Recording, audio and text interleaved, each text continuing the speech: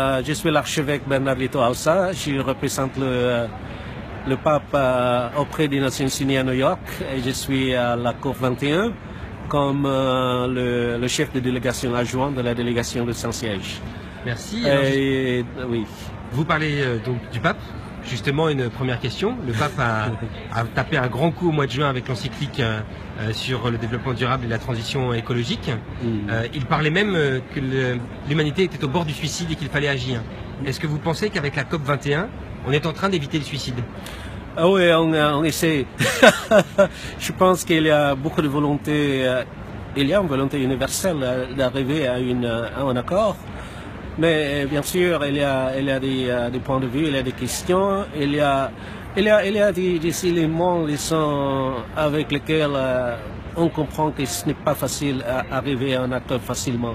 Par exemple, euh, le niveau de développement des pays. Il y a les pays les plus pauvres, ensuite vous négociez avec les pays les plus, les plus développés, les plus riches, qui ont aussi, euh, disons, pollué plus, euh, disons, euh, historiquement.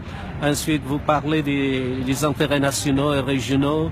Vous parlez des, des pays euh, qui ont maintenant dans une phase de développement rapide qu'ils ne veulent pas, disons, pour, pour eux, l'accord ne doit pas, disons, les empêcher de progresser, euh, oui. empêcher le, le, progrès, le développement, parce que des pays comme Inde, Chine, euh, Indonésie, de, de, grands, grands pays, euh, des, euh, dans lesquels des populations encore, des, des, centaines de millions de populations encore euh, sont dans la pauvreté. Et donc, il y a ce, ce grand programme de, de développement.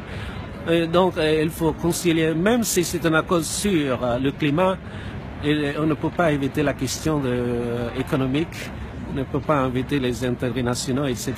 Et donc, on comprend qu'il y a ces difficultés. Mais de notre point de vue, chaque jour qui passe, euh, euh, dans mes rencontres, dans mes conversations avec les autres délégations, euh, que je connais assez de monde ici parce que beaucoup sont des Nations Unies. Et donc, euh, chaque jour, j'ai eu l'impression que chaque jour qui passe, il y a, il y a plus d'optimisme, il y a plus de volonté de, qu'un compromis sera possible, qu'il y aura un accord. J'espère qu'il sera le cas. Très bonne nouvelle. Alors, vous savez, nous, les, les syndicats, on a essayé d'œuvrer auprès de, des États Mhm. pour que la place des travailleurs dans les différentes transitions qui vont avoir lieu soit Mhm. prise en considération, et notamment autour de ce qu'on appelle la transition juste. Oui. Euh, Qu'est-ce que le Saint-Siège pense de la place des travailleurs dans les transitions qui vont Et, avoir il, lieu y a, il y a justement un passage, il y a justement un passage dans la date aussi. Et aussi dans notre, euh, nous avons une, euh, nous avons un promémoire euh, de négociation que nous avons distribué euh, aux délégations, spécialement les délégations amies, euh, dans laquelle on a, on a souligné justement euh, la place euh, de travail, euh, la considération fondamentale, euh, le, le, droit au, au, travail dans la transition économique pour, disons, une, une économie verte.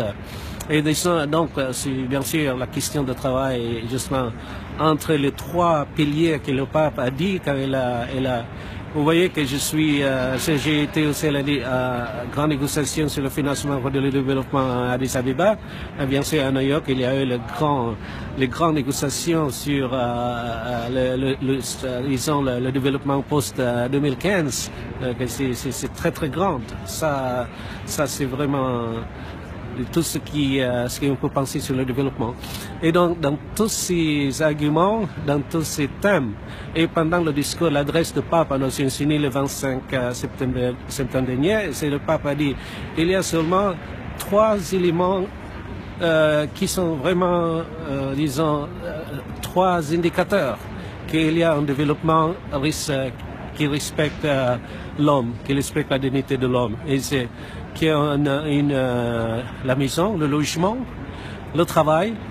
Ensuite, euh, bien sûr, pour la grande partie du monde, c'est la question de terre. Bien sûr, dans les villes, ce n'est plus question. Bien sûr, c'est le logement et le travail, et le numéro un, les deux. Et donc, euh, dans tous les enseignements, dans, dans toutes les positions que le Sanchez exprime au niveau de toutes ces grandes conférences cette année, le financement pour le développement, le, le développement post-2015 et sur le climat. Et il y a toujours la place du travail, le droit du travail. Bon, ça veut dire qu'on peut donc, compter oui. donc euh, sur le siège pour défendre la position des syndicats sur, euh, sur le travail décent dans le monde. Euh, J'en suis sûr. Super. Ben, merci à Merci. vous. Merci beaucoup.